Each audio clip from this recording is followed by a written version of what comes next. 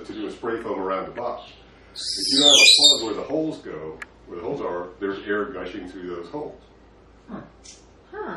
And, and that, that was the one that blew everybody. So, so like I said, two ninety seven at Walmart. But you're probably not Walmart fans, but um, you get thirty of those things for two ninety seven, and, and that fixes a lot of leaks